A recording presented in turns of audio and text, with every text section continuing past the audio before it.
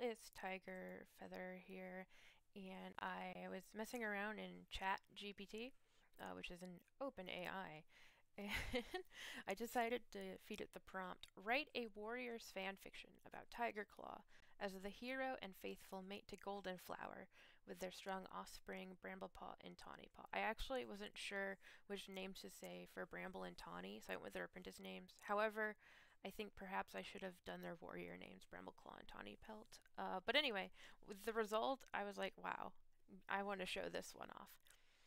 So let me just do a read through real quick.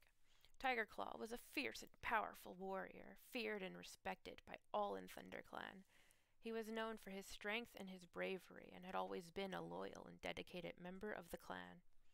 Despite his fearsome reputation, Tigerclaw was a kind and loving cat at heart.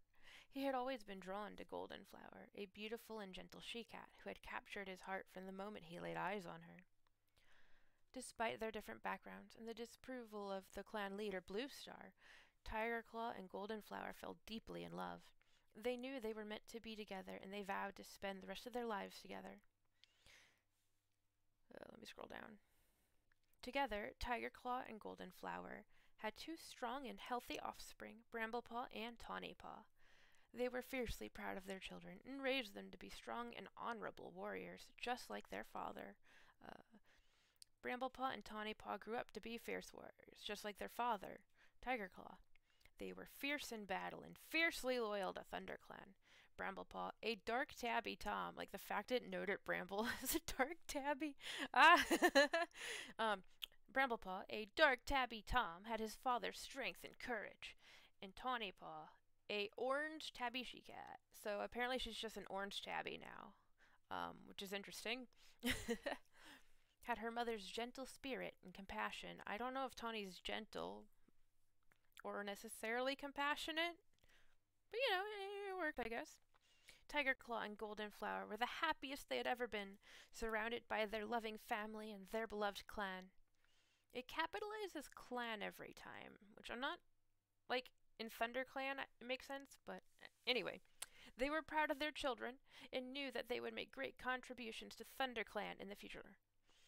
Years passed, and Tigerclaw and Goldenflower grew old together, surrounded by their children and their clanmates. They knew that their love would last forever, and that their legacy would live on through their strong and honorable offspring. Tigerclaw's reputation as a fierce warrior was undeniable, but Goldenflower saw the hero in him, and their love story was a testament of a great leader, a loving mate, and and it actually doesn't finish. There's nothing after that and. It's it's a cliffhanger. It's a cliffhanger. So I'm actually kind of tempted. Um, if I go finish that last paragraph, right? Will it finish it for me? Oh my gosh, it did it! And a devoted father. They were an, ins ah, an inspiration to many in ThunderClan, showing that even the strongest warrior can also have a loving and caring heart. As they passed on, Bramblepaw and Tawnypaw took over their role as leaders. Oh, Okay, so we have like a monarchy going on. and continued to lead ThunderClan with honor, courage, and strength. Just like their father, Tigerclaw. Their love story will always be remembered as a legendary tale of love and loyalty in the world of warriors. Oh, that's cute. I'm kind of tempted to play a lot, play with this a little bit more often. Huh. Okay, yeah. Well, just wanted to share that. That, was a cute little thing.